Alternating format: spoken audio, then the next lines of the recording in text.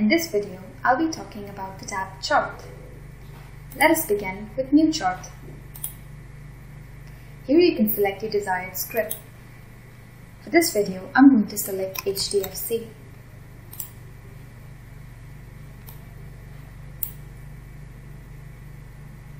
You can zoom in or zoom out using the scroll in your mouse or by using the keyboard shortcut of Shift and minus to zoom in or Shift and plus to zoom out. Currently you're viewing the tick data of HDFC.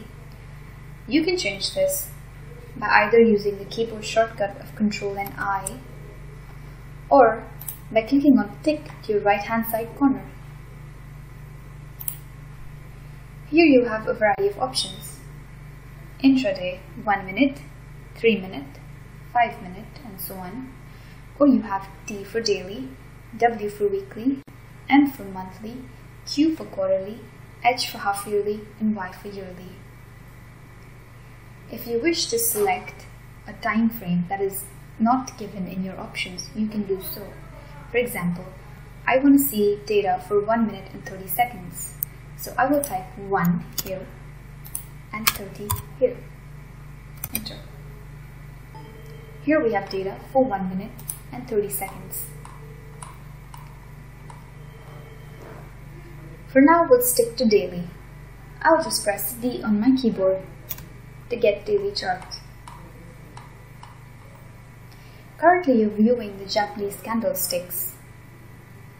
You can change this by pressing B for bar graph, L for line graph, U for hollowed candlesticks, and J for back to Japanese candlesticks. If you look to your right, you can see certain values. These values are price, and these values are volume. On the extreme right, you can see a data window.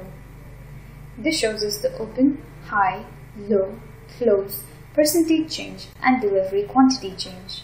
You can view this for every candle. Next, we have candlestick patterns.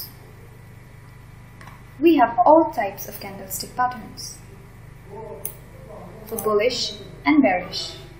For example, I wish to see a bullish candlestick pattern of an inverted hammer and engulfing line bull.